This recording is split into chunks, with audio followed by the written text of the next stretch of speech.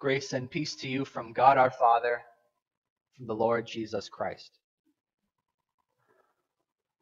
When you Google something, you're actually only searching like 4% of the internet. The other 96% is what's called the, the deep web.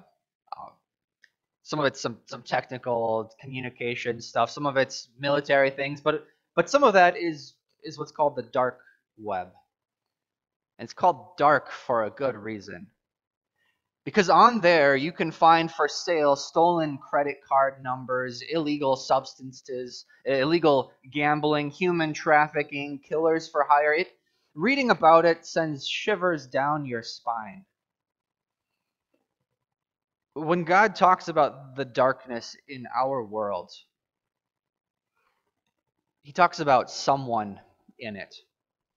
Uh, an enemy, enemy who is both invisible and also evil. And we are in a struggle against this darkness.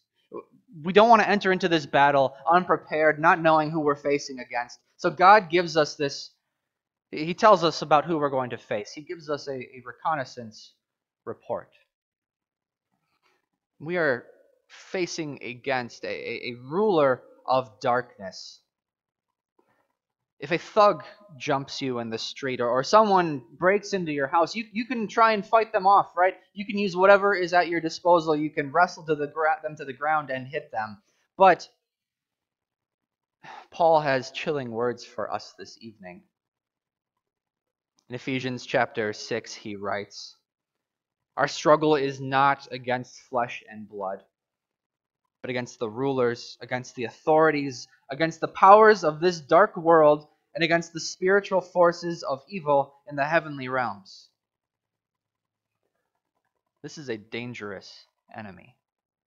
We're not talking about fictitious ghosts or, or, or, something. We're talking about the devil and his evil angels, those angels who rebelled against God and fell away from him. They are very real and very evil. And there should not be anything fascinating or, or attractive or funny about them. In fact, the very name Satan means enemy.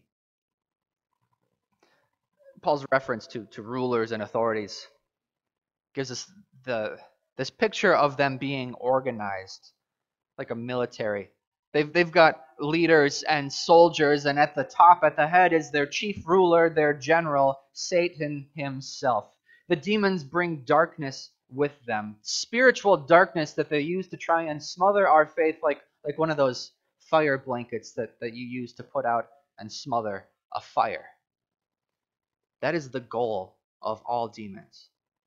To put an end to faith on this earth. They want to steal your faith from you and they want to keep unbelievers from ever hearing about the grace of God in the first place.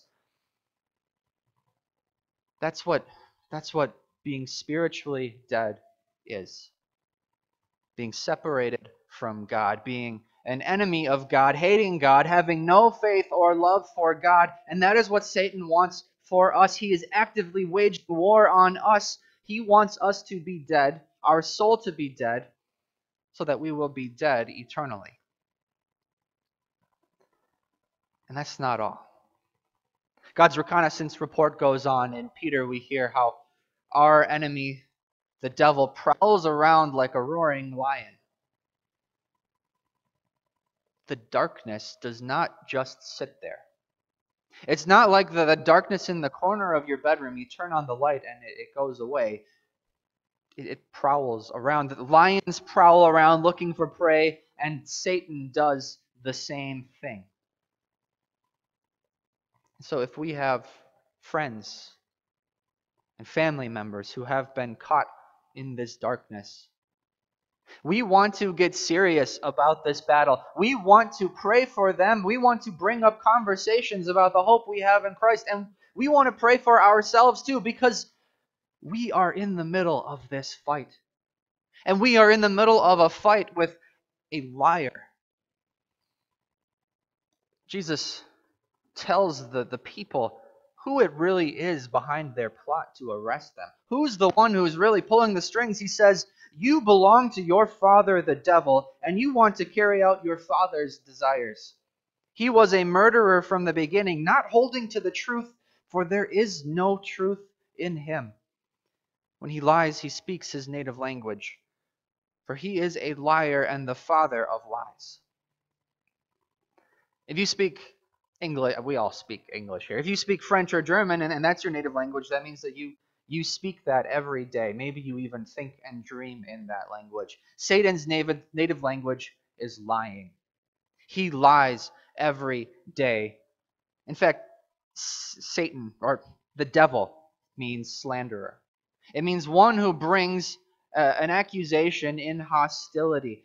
He is angry and jealous of what God has done for us in Christ. But he works extra hard on us to get us to doubt God's word. It's one of the reasons that, that study of the Bible, personal study and study in class, is so important. And Satan has two favorite lies that he just loves to use. Two opposite but, but very similarly effective lies. One is that you're pretty good. God would never damn you to hell. And the other is the exact opposite. You are so bad that God would never want to save you. Lies.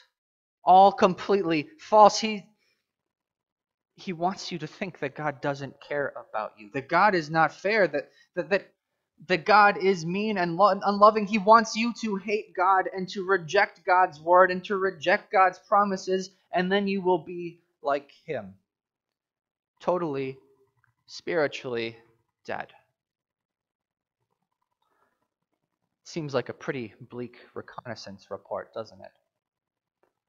But that, that's not where it ends. Because this is why the Son of God had to go forth to war. Our reconnaissance report goes on to show that the hope that we have in Jesus because God put a light in the darkness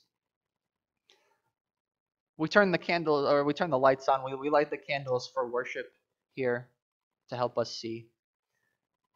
The light always drives away the darkness. Even even a small candle lit inside the, the deepest of darkest of caves will drive that darkness away. And there's a more important light in here than, than the ones above us. A light that that drives the darkness that Satan is trying to shove into our hearts away. Uh, a light that has given us hope and faith and a future in heaven. A light that is so bright that the Bible describes heaven as a place where we will never even need the sun and moon for eternity. John is talking about Jesus when he says, In him was life, and that life was the light of all mankind. The light shines in the darkness, and the darkness has not overcome it. Did you catch the, the battle in that verse? The darkness has not overcome it. Satan and Jesus fought many times on this earth. Most of the time, Jesus used God's word to drive him away. Sometimes he used miracles to to drive Satan and his followers and the, the damage and illness and death he had done away. But in the final battle, they both used the same weapon.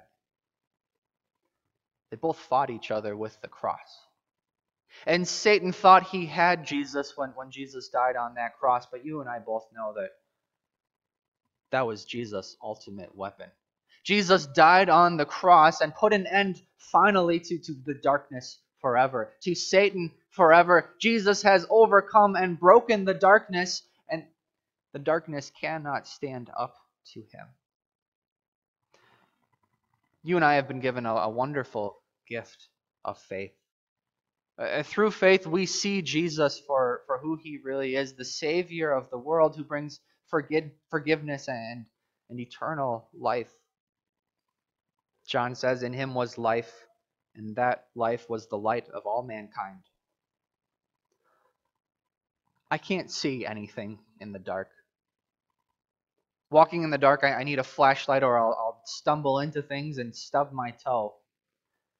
It's so much worse in spiritual darkness. No, there is only one flashlight that can provide light in that darkness, and that is Jesus. He is life. He is the source of all light and life.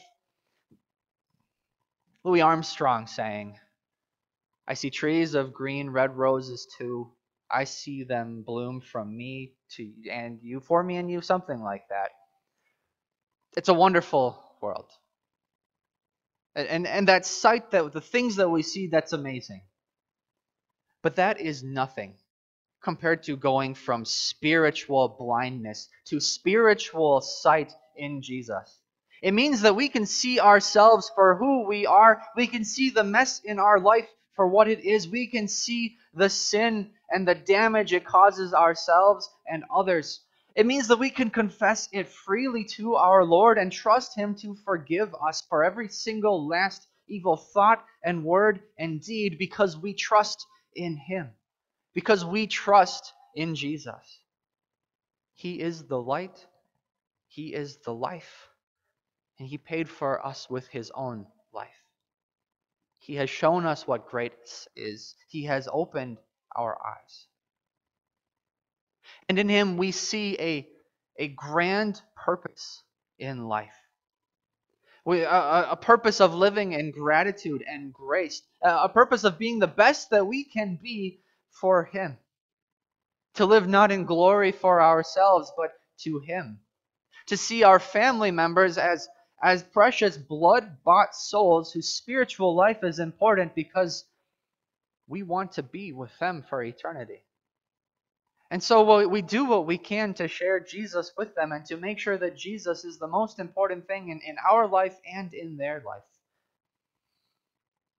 We look at unbelievers not with, with anger or disgust, but, but sadness with with a great desire to do all we can to, to bring this light to them, to help them see. We look at this, this work as, as a means of giving God, God glory. And we look at each other as, as dear fellow family believers, special friends in, in Jesus who we, we pray for and love because we matter to each other. Because of Jesus, we can see through all the darkness of death into eternity. We can see a real place alongside millions of other believers at the right hand of God, filled with so much wonder and glory and beauty and joy and action that, that we cannot imagine it. It's far beyond our, our wildest dreams. Praise the one who breaks the darkness. Amen. The peace of God, which transcends all understanding, will guard your hearts and minds in Christ Jesus.